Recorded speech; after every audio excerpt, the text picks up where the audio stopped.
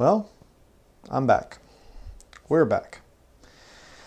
Uh, didn't really get into a lot of detail what we, we were going to be doing this big project thing, um, but we took a trip 4,000 miles on the road, and um, not going to say what all we were doing there and things. Uh, basically, just you know going to see different family members and things, and we had some stuff that was uh, out in Iowa and Pennsylvania, where I'm from. Iowa's where my wife's from, and uh, we needed to go get things and you know visit with people and whatever else.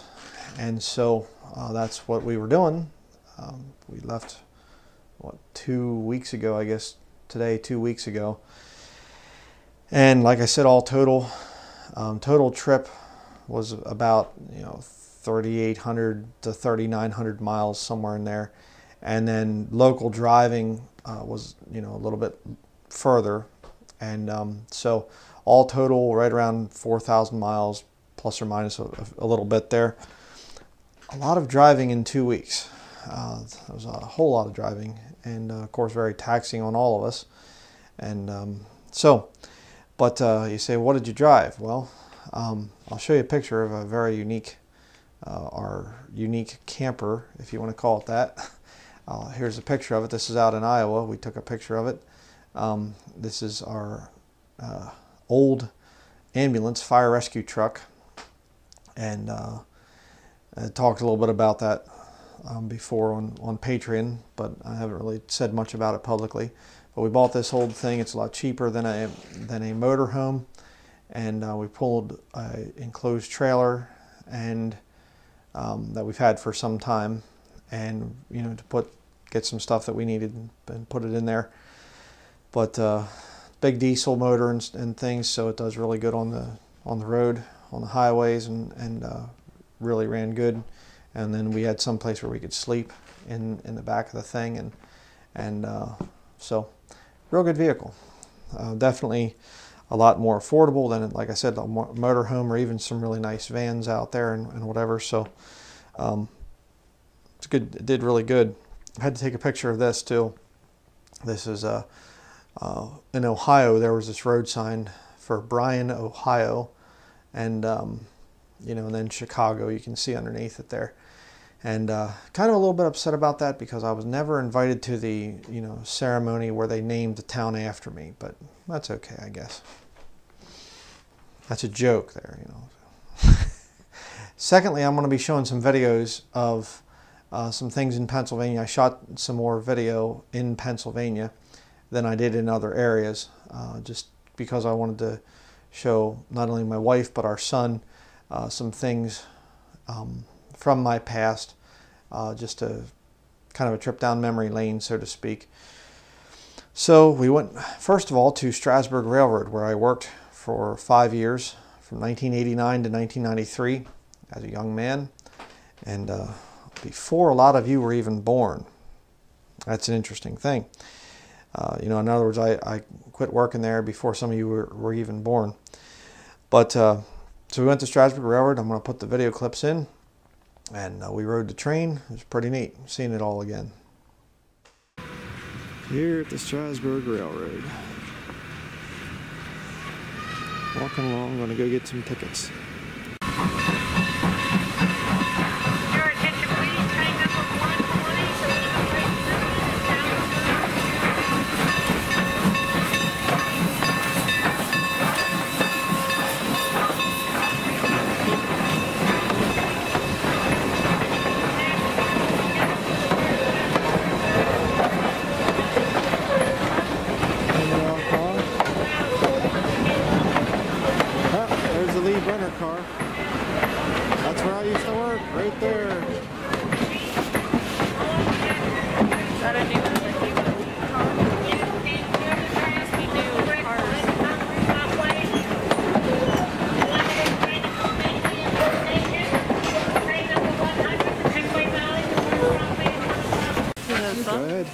This other one, look to the left. 58? Yeah, number 58. Boarding the train.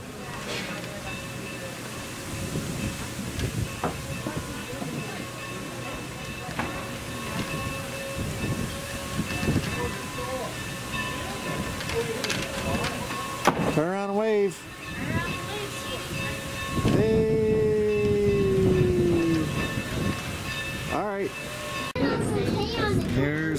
Caboose Motel, which my Uncle Don built back was before I was born, but I went there quite a bit growing up. Yeah, in the Guinness Book of World Records. I played a lot at that place. There was their house back there. Uncle Don and Aunt Lois. So, yep.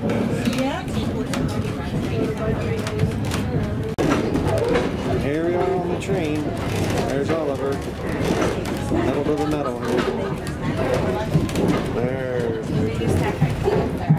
You enjoying your train ride? Yes, I am. So, and A lot more comfy than the Amtrak. yeah, slightly, huh? Yes. Yep. Much better view too. Yep. And here's me. Yes, videographer. Been 24 years since I've been on this train. Weird. Here we have some lumber piles. And interestingly enough, going up here from Maine, we have Irving. Hey, there's a wall right next to your sell everything. Nice. Oh, look at the camera. Hey.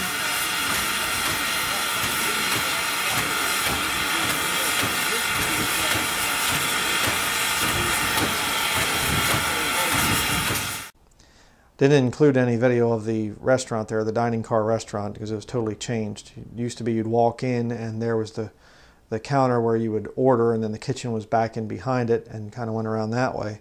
Now it's all dining room there, and now the kitchen's off to the left when you walk in, where people used to sit and eat. It's kind of weird. Um, but then we, after that, as I said, you know, in the little video clips there, I showed the Red Caboose Inn that my uncle Don Denlinger uh, had founded, and uh, so we went there.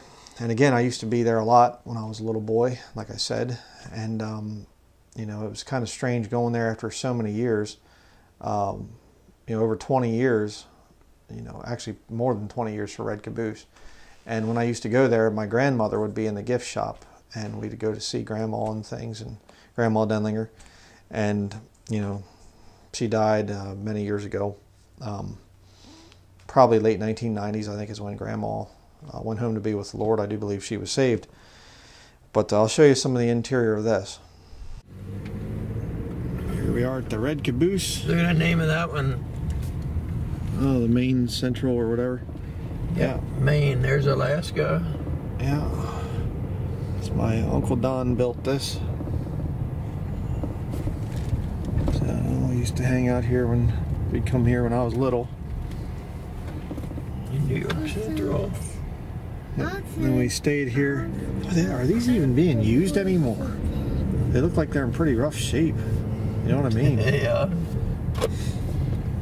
I don't know.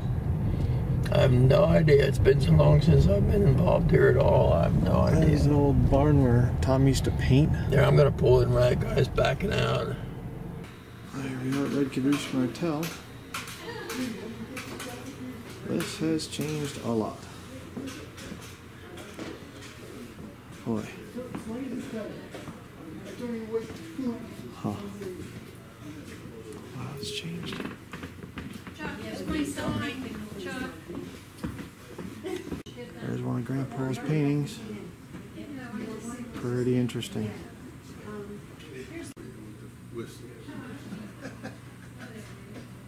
Oh. Yeah, see, that was there. That train thing was there. But, uh, used to be the front of a train in here, too. But yeah, I remember Grandma, she'd be in here doing things. Doing the cash register and all that. It's really kind of strange to see too that my uncle's house, my aunt and uncle's house that was there at the Red Caboose, actually is now part of the tourist, you know, attraction thing. It's really strange to see that. Uh, next, I'm going to show you something very interesting here. Um, the house that I was, I wasn't born there. I was born in the hospital, Lancaster General Hospital, but the house where I grew up for the first three years of my life. I'm going to show you some video of that on Peach Lane down in Ronks, there in Lancaster County. Here's some video of that. This is the road I grew up on, Peach Lane. You go left here up the hill. Oh man, this is bumpy. I didn't. I just want them to take right, time. right there is the house where I was not born, but go ahead. The birthplace of Bryan Denlinger, right there. And then next up here, 60 Peach Lane. That's where we should Right live there. before we moved up where we are now. Back in there, that's where I grew up Dick for a long time. Now the Lintons were there. Henrys were, were, or no, was it the Henrys that lived there Yeah, first house. originally? Yeah. Oh, they're dropping our mail off. How to get that quick? Uh huh. Here's Dave and Peggy Eisenberger's That house. place is for sale. Well, Martin's in later on, but so That's weird. This is really weird. alrighty. I And uh, Roar back. Farm was it up here at the end? Walter Roar, yeah. Yeah, Walter Roar. So, yep. So there you have it. They still haven't put the historical plaque out there, whatever birthplace of Bryan Denlinger. I don't know when they're going to, but they'll get around to it. After see, they just got done. You know, the, the nation just got done naming a town in Ohio for me, so now they got to wait. You know, save up a little bit till they can afford the big brass plaque. You know, that says this is where he was born. But uh, having some fun there. We didn't go back the lane, back to the place where I, you know, lived for. Uh, we lived there from oh boy, what would that be? 1978 to 2001 is how long I was back there. Um, at the lane that goes back in. And some Amish bought it now, and they changed everything all around, so it doesn't really look like my old house anymore. But the other one there, the little brick rancher, yeah, that looked like the house I was raised in for the first three years. Um, but it's a real beautiful location there. But now, um, even more important to me than the houses that I was raised in, uh, I lived almost down in the woods um, behind the houses. We call it the springs because it's the Strasburg watershed. They have a bunch of natural springs down there that are capped off with concrete, you know, little structures. And then the spring water goes and they, they bring it down into the town of Strasburg, you know, as the, as the water supply there. And ever since I was a little boy, I'd be back there all the time at the little, you know, the springs they overflow and then they go down to this little stream that goes down through. And I'd be back there building little dams and, you know, putting rocks up and damming up the water. And, and then I'd catch crayfish and I'd catch minnows and salamanders and I'd, I'd stock my little pond that I created. And I was down there all the time and, you know, my brothers and brothers and sisters as well. So went down there and it was pretty neat because it was actually not changed. So was, it was nice to see it. So much has changed down there where I grew up. It was nice to actually go down and actually see things exactly the way it was when I was a little boy. So here's some video of that. Here we are down in the woods behind the house where I grew up. You can still see some of the big beech trees right there. Real huge big beech trees. Betula, no, it's Betula lenta is, is black birch, I think. Or, or birch. But yeah.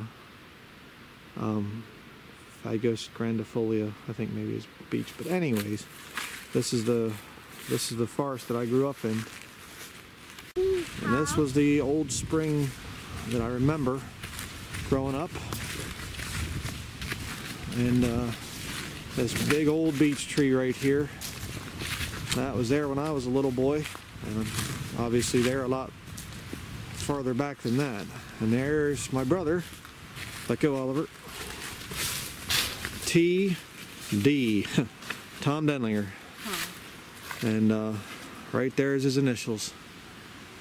Um, I don't think I carved my initials on this tree, but it is an old, old tree.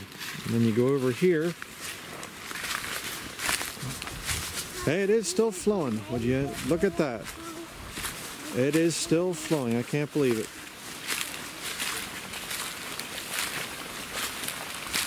And there it is.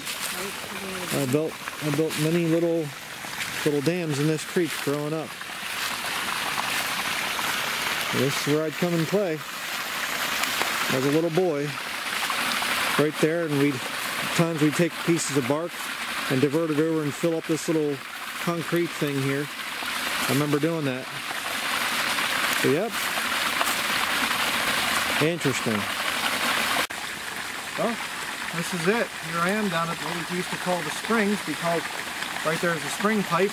And uh, this is the creek I played in as a little boy. And uh, our house was, you don't have to swing the camera around, but our house was up that way. And uh, we'd walk down through the woods. I'd walk down here by myself and I just lived down here in these in these woods and I'd hike all around up through. There's a pine forest up that way. And uh, a lot of these trees, I'll just go this way, you can see this tree was here when I was little. Alright, big tulip poplar tree, uh, just amazing. So really a neat thing to be down here in these woods again where I was raised. You can hear the Strasburg Railroad off in the distance. So, really neat. All right, next I'm going to show you one of the areas I used to ride my bicycle to. There was a little store in the town of Nickel Mines, which was a couple miles away from my childhood home there on Peach Lane. And Nickel Mines is, became famous because of this uh, sick nut, this uh, Charlie Roberts, I think his name was, that uh, he went into this Amish schoolhouse and he shot up a bunch of little girls and whatever was going to molest them and things, and then they just destroyed the school. So I'm going to show you where the school was, and I'll tell you a little funny story about the swimming pool, the public pool, after you watch this. Alrighty, here we are in Nickel Mines. Used to ride my bicycle over here, and that there's a horsey. There, that field right there, right in here, is where that shooting was. The Amish Amish schoolhouse shooting. There's a swimming pool that we were members of when I was little. We come to that. And, uh, yeah. And there's the where the school or the uh, store used to be. Yeah, Nickel Mine store. That's weird. That's gone. Weird. All right. Then we turn up here and go to church. Yeah. Okay. Okay. So you saw the swimming pool was actually right across the road from where the old schoolhouse used to be. And the one time we were there in the summer, and I remember we got there and it was just, they were just opening up and all the people were coming in and putting their beach towels down and, you know, children getting ready. And a couple children jumped into the pool and they almost right back out again, just shot back out again. And they're screaming, oh, oh there's, you know, there's, I could hear, hear him yelling. And, and here I heard one of them say there's a dead groundhog in that pool. And uh, sure enough, they got that the big pool net thing, you know, and they, they fished out this groundhog. That I guess had fallen into the water at, the, that night sometime, and it was dead. Was down in the bottom, floating, you know. So, uh, real good, you know, real fun to swim in. So I think they closed it for the day, you know, to kind of get the system cleaned out, I guess. But yeah, I remember the dead groundhog in that thing. But where the pool was, there was a there was kind of a looked like a big kind of lake back in there. That was actually the nickel mine, and it had flooded. But uh, the store is just like I showed you in the video there. It's some kind of manufacturing thing or whatever now. Not even the little country store that used to be there, and they'd have candy and whatever, and we'd go in there with our allowance and we'd buy candy and things, and we'd ride our bicycles over there from our place on Peach Lane. So, next I'm going to show you the Babel building that I was raised in, Calvary Monument Bible Church. I went there all my life up until the time I was in my teens and I left. And uh, so um, this is where I had my first false profession of faith, um, where I was using a New American Standard Bible as a little boy and then graduated to a NIV, you know, real good graduation there. And uh, so I'll show you the video of it. Here it is. All right, we're approaching Calvary Monument Bible Church. I guess it's yeah. I guess Still it's there. still it's still called that. Yep. Should be called some kind of thing like Super Energy Church or something. You know, like most are today. This is where I grew up. Going here. Amish kids walking through it. Just go down around the parking lot there. And uh, and now just kind of pull over here a little bit. That big cell an- antenna right there. Good night. But the original building well, not the really, really old building, but the original. Stop, stop, stop. Thank you. The original building was that one right there, right? This over here, right, Dad? Yeah, and then they added over here. Then they built. Lefevre Then they built this wing, and then they built Lefevre Hall over there. And uh, but then the original one, I guess, isn't even around anymore, right? No, that was torn. It's if It's- you drive around the front there, that's where it was, on the other side of this Yeah. building. So, yeah. Alrighty. Uh, the people there are going to have a lot to answer for because they deceived a lot of people. Um, it was interesting. The pastor, when I was there growing up, was Bob Reed, and um, a friend of the family came over the one time. He had an old sermon from Bob Reed, and we put that thing in. It wasn't five minutes into that sermon, and he was correcting the King James Bible and giving a better reading from the NIV and the New American Standard Version. Just totally wicked. I was not raised King James only, in other words. Next, we're going to show. I'm going. I'm going to show uh, some video of the Gap Town Clock, um, Calvary Monument Bible Church, and then you go down towards the, the town of Gap, over towards where I went to high school, which I'll show after that. But Gap was. I had some friends that were down in there and things, and an interesting story about the McDonald's. Watch this. All right, we are in the town of Gap, PA, and there's the Gap Town Clock right over there. Again, a lot of uh, history there. This is a lot of the area where I used to be around. Whoa. That was impressive. Yeah, I'm gonna get one of those tomorrow. I enjoy But- wasting gas and rubber in the Yeah. tires. Sure. It's great. That's a. That was oh a tattoo parlor. Oh look at that. that used to be an antique place. I was gonna just say about that's where that shipwright's draw knife was, and I missed buying it, and then came back and it wasn't there. Now it's a tattoo parlor. Oh, that's good. Antiques to tattoos. Yeah, great. And this is the infamous Gap McDonald's down here on the right. So many kids worked there during high school. That's and uh, the older ones. that's that place there. There were so many stories of high school kids spitting in food and doing all kinds of other horrible stuff. So I remember that. So there you have it. Uh, that was a bad McDonald's to go to, but uh, the interesting story about that. I remember the one night we went there after our church thing, Calvary Monument Bible Church. Went there as a family, and my older brother Dean was sitting there, and he was playing with this this uh, these little ketchup little bags, you know, little things that you get, and um, and he's he was twisting it, and there was a family that they were all dressed up from you know the church service there, and they were sitting across from us, and they got done with their food and they left, and hey, see you later, yeah, okay, bye. They left, and my brother's sitting there playing with his ketchup thing, twisting and twisting it, and the thing burst and just shot all over that table. we thought, oh boy, if those people with their nice fancy clothes would have been there, they'd have got you know just sprayed with ketchup. So, but uh, a lot of interesting memories coming back, going back there. So, next I'm going to show you the high school I went to, Pequea Valley High School, and uh, the intermediate school. The high school has changed quite a bit. Intermediate school looks the same, at least from the outside. I don't know about the inside, didn't go in there, but this is where I went to school, public schooling. All right, we are coming up to the high school that I went to at night. Man, they built this thing way out. Yep, this is your Yeah. dad's high school he went to. Yep. Can just go in there and turn around. Pequea Valley main entrance. Yeah, the buses used to pull up here. No, not up here, on the other side. You would know. Yep, yeah, this is all brand new here. That would have been the gym right there, but then this is all new. You mean This since whole we've been thing away? is new. No, I think that they did this right around the time we moved to Maine, but Oh, okay. this was here. They would, we'd park back in the back, and then you come out here, 2011. and Mr. Hutchinson would, uh, Direct yeah, he'd always be there directing traffic in his unique way. Yeah. Head up that way. Yes. But this was all parking lot here. This was this whole building here was all parking lot. All the students would park there and everything else. Where are we going? Take a right, go up to the intermediate school.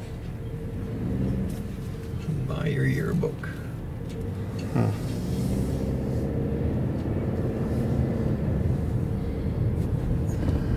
This was all here. This was all here, but they used to park vehicles along here. I remember different teachers parked their vehicles there.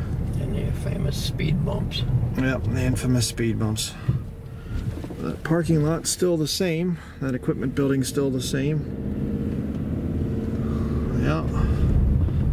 Bus parking only. There's the football team. We had no football when I was going. And then that tennis tennis court there was still the same. The sewage treatment thing down there is, was was there. And some children, some, some of the kids in high school would try to hit the tennis ball down into the sewage treatment plant. I never had any part of that. Uh-huh. I'd, I'd always say, come on, guys, now that's wrong.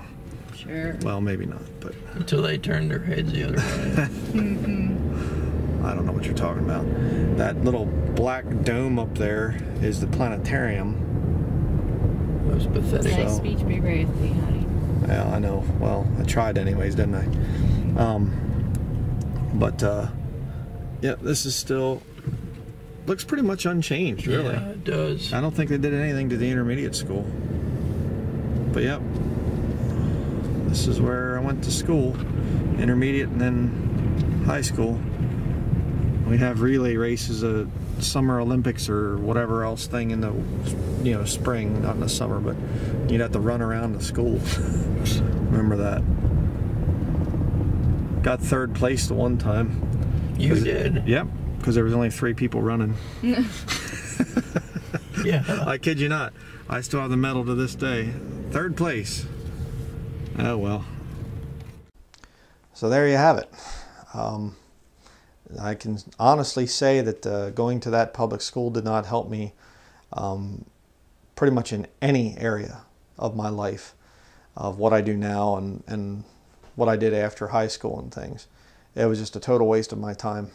Um, I know some of the kids that were in my class and whatever else, they quit at different times, and it was always kind of, oh, you know, they quit high school. Uh, they were the smart ones, okay? Uh, high school is a, is a joke, and that was back in the 1990s, right? 1980s and 1990s. Okay, I'm 43. I'm an old man. All right, uh, I graduated in 1994, and it was a joke. I mean, it was a total joke. You know, I cheated on so many of my tests and uh, whatever, just lost you know, professing Christian, church going, you know, hellbound sinner is all I was.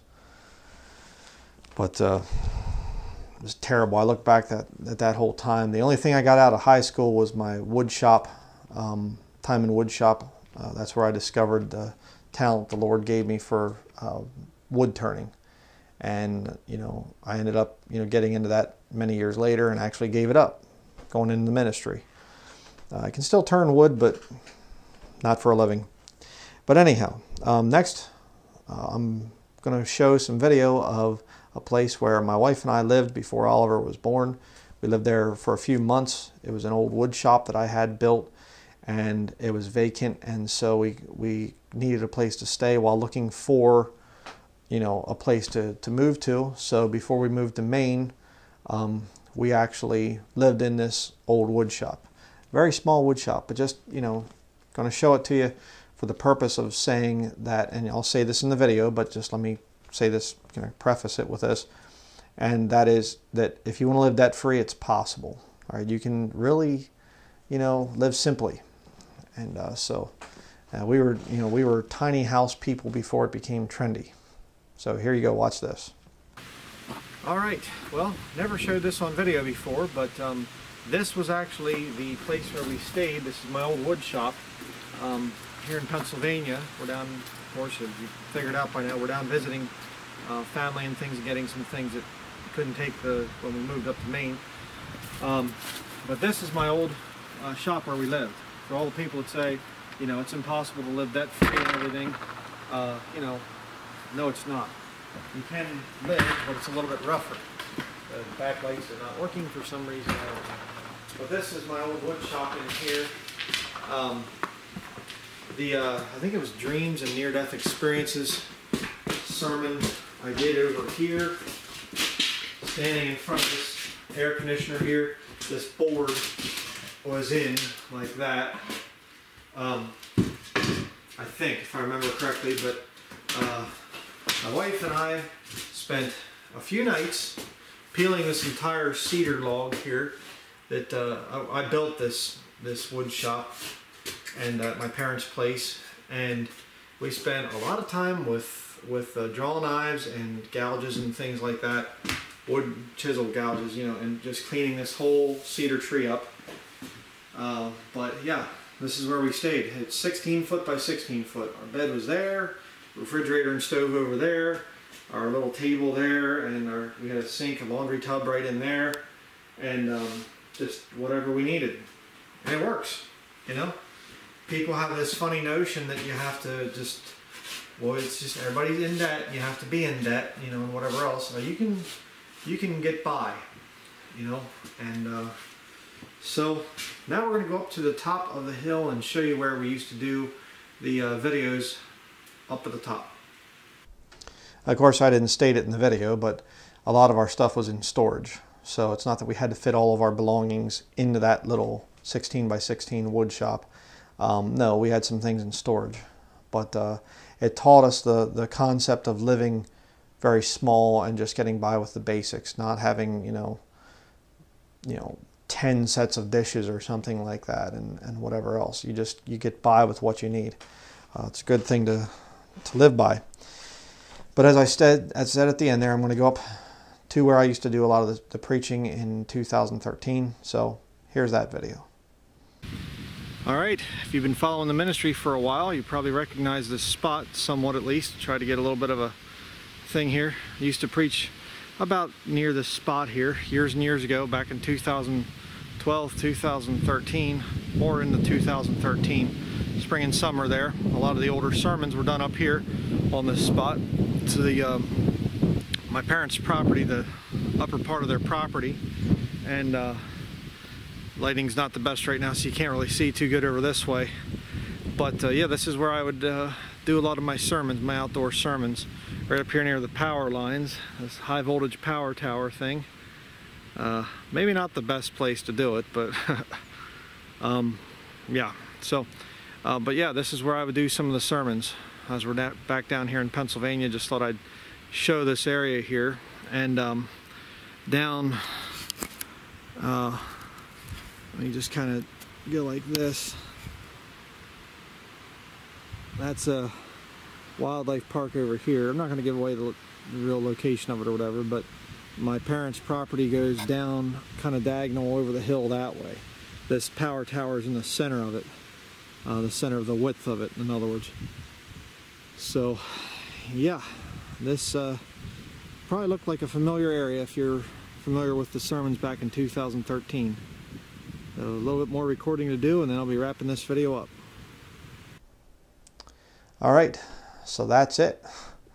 Um, just really an interesting thing going back and going through all that and uh, seeing, you know, not only where my wife was raised in the house that, you know, her childhood home, but also we went then from there to West Virginia to visit some family that lives down there now. And um, then we went up to Pennsylvania and went around a lot of the area where I was raised and whatever. And, and uh, you know, it's so interesting because we went through all that stuff and, and our son had a really good time. But I said to him, I said, son, I said, uh, you know, did you have a good time and, and whatever? And he said, I want to go back to Maine, you know, and we're going, yeah, we do too, you know. And uh, so came back here to Maine uh, a couple days ago and just exhausted. Uh, we're still not quite, you know, back here, you know, because just so much driving, 4,000 miles is a lot of driving to do in two weeks and um, less than two weeks actually.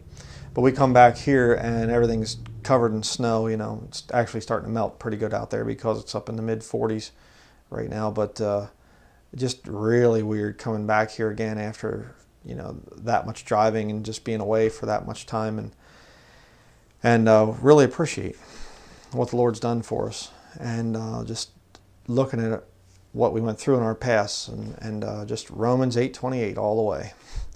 All things work together for good to them that love God, to them who are the called according to His purpose.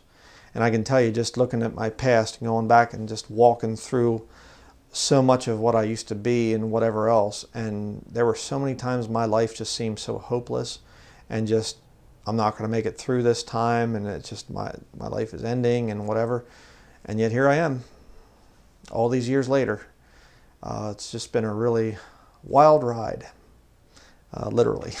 So, hope you've enjoyed that little video here, just sharing some of the scenery of where I grew up and some of the things and, and whatever else there. I know I've talked about it, and probably some of you that have watched a lot of my sermons been with me for a number of years.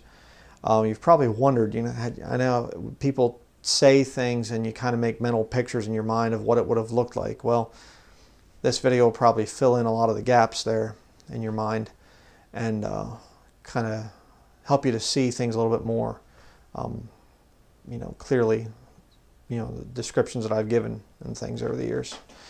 Um, but we really thank everybody um, for your prayers. Um, the only mishap we had on the entire trip, uh, just to tell a little story here quickly, I did get the uh, ambulance stuck at one point pretty bad in the mud and trying to back around on my parents' property. It's not a real good lane and um, I got stuck really bad. And they had to. I tried everything I could to get that thing unstuck. It's only two-wheel drive, so that normally does very good. But when you back it the mud, you know, not so good. You know, uh, gross vehicle weight on that thing is 14,500 pounds. It's a E450, so it's a Super Duty and weighs a lot. So not so good, you know, in the mud. You know, so but I I tried to get the thing out and couldn't get it out, so we ended up having to have it pulled out um, by a, a, big, you know, a, a um, rollback type of deal. Whatever. They had a winch and things on it. And they pulled me right out. It wasn't even that difficult. If I'd had a winch on the front of the ambulance, then I would have been able to get myself out. But that's another story. But uh, future plans um, for the thing, um, not sure yet. But I, I thought it'd be really cool to, to letter it on the side, Hellfire rescue truck, you know, and just put John 3:16 or something. And um, but we'll we'll see. I would like I wanted to have bumper magnets, you know, scriptures and things all over the back part of that ambulance, but uh, it's all aluminum, so my magnets don't, you know, magnets don't stick to aluminum. But um, but just came back here and and uh, went to the post office, and there was uh, a lot of letters and two really nice gifts from the brethren, and and uh, to help out the ministry and and you know uh, just really really appreciate it. Appreciate everybody's every, everybody's prayer. Say it that way. Um, I have some hard times sometimes when I'm driving. I'll kind of start to get a little bit sleepy. I only did I think you know maybe two or three times the entire trip that entire time and I was worried about that I was thinking you know don't know how this is going to go driving that many miles you know 10 12 hour days of driving just almost nonstop. But thankfully, um, your prayers were really, really there for us. So, really do appreciate everybody's friendship and your support of the ministry. And uh, I'm going to get back to doing some more preaching and teaching and things, more outdoor sermons. It's getting colder, so see how that goes. But uh, got some interesting plan, plans for the future. But this trip has been, we've been planning on this thing for years, and we know we needed to do the trip and we were always kind of when are we going to do it and, and well the time finally came and uh, we did it and i don't want to do another trip like that for a long time but glad it's done so that is going to be it. And uh, we'll see you in the next video